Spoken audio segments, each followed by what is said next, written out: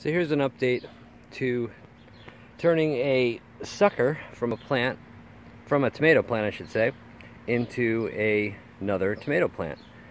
So as I showed once before, we'll do a little review, is you have your main stem tomato plant and then you have your branch here that comes off, powers the plant, and right here in the crook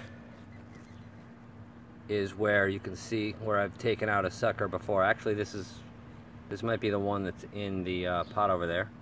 I don't have any suckers because I already took the suckers off. Oh, no, I'm sorry.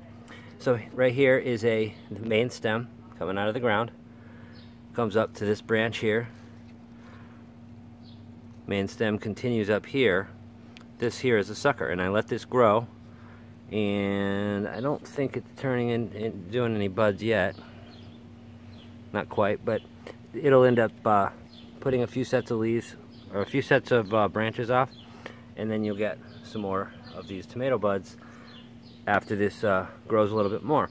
So what I did was I took off one of the suckers and I put them here these three into a uh, glass of water. So as you can see here this one I just did I think two days ago there's nothing, nothing really going on right there. So I'm to leave that in the water. This one here, not a heck of a lot going on there either. But on this one, it's looking a little grody as far as, you know, leaves are curling and stuff. But you can see the root system that's starting to develop on the plant there. So I'm going to let that go a little bit more.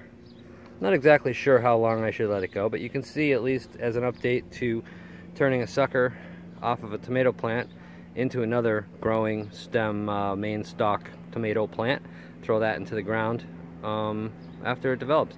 I might actually put it into a uh, container, but I just wanted to give an update on what the um, progress is on these suckers.